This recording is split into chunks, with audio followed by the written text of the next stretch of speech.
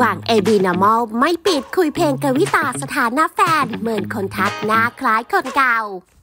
เรียกว่าเปิดตัวแบบฉ่ำจนหลายคนร้องว้าวมากค่ะสำหรับความรักครั้งใหม่ของนักร้องหนุ่มกวางเอบีนอมอลและสาวเพลงกวิตา แต่ไม่ว่ามีคนตั้งข้อสงสัยถึงความสัมพันธ์ของฝ่ายหญิงกับสามีว่าเลิกกันตอนไหนยังไงจนมีวงในออกมาบอกว่าเธอได้เลิกรากับสามีมาสักระยะแล้ว และอยู่ในขั้นตอนของการฟ้องร้องอยู่ด้วยค่ะล่าสุดหนุ่มกวางเอบีนอมอลเองก็ได้ให้สัมภาษณ์กับทางอมรินทีวี ถึงความรักครั้งนี้ว่า ความรักครั้งนี้ไม่ได้ตั้งใจปิดอะไร เพราะก่อนหน้านี้ได้ลงสตอรี่ไปก่อนแล้วบ้าง เพื่อนๆก็ลงรูปแล้วติดเราด้วย แล้วรอบนี้แม็กชวนแล้วว่าไม่มีอะไรผิด คิดว่าถูกต้องแล้ว เวลาคนขอถ่ายรูปก็บอกถ่ายได้ไม่ได้มีอะไร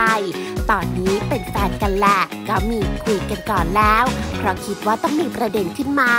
คุยว่าถ้าวันหนึ่งต้องลงรูปจะเป็นอะไรไหม และโอเคไหมกับสิ่งที่จะตามมา ก็ได้แผ่นๆไว้ คิดล่วงหน้าไว้แล้วก็โอเคซึ่งทั้งคู่คุยกันมาได้ประมาณ 2 เดือนกว่าๆ รู้จักกันตั้งแต่ฝ่ายหญิงอย่างใส่ชุดนักเรียน ซึ่งดูเป็นคนห่วงใยคอยดูแล ตอนที่ตนป่วยเป็นโรคทางเดินหายใจติดเชื้อ ส่วนเรื่องที่หลายคนบอกว่าหน้าตาคล้ายกับแฟนเก่า ส่วนตัวเองไม่ได้รู้สึก แต่คนรอบข้างก็ทักเหมือนกัน ก็แล้วแต่คนจะมอง